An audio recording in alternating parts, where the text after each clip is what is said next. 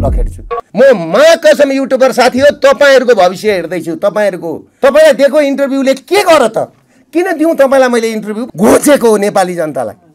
निस्क तिमीहरू मैले मेरो लागि गरेको होइन। म अहिले यत्तिकै बस्ने भने नि यो गरिबको आवाज बोलिदिने मुख बन्द हुन्छ। दुर्गा प्रसाद घाइते बाघ हो। मलाई केपी ओलीले घाइते बाघ बनाएको छ। है? घाइते बाघ भारी पर्छ। र तपाईँलाई म एउटा कुरा के भन्छु भने एसपीदेखि मुनिका पुलिसहरू सबै दुर्गा प्रसादको पक्षमा। यो कुरा तपाईँहरूले बुझ्नुहोस्।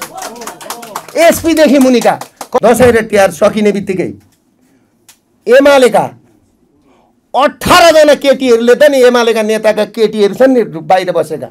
केटीहरूले पत्रकार सम्मेलन गर्दैछन्। एकैचोटि एकैचोटि एकैचोटि नरेन्द्र मोदीज्यूसँग भेट्नलाई इन्डियाका प्रधानमन्त्रीसँग राम्रै चार पाउ टेकेर भेटेर त्यहाँ पनि के कुरा भयो थाहा छ?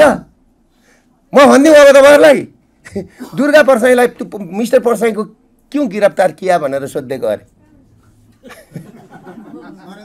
अँ।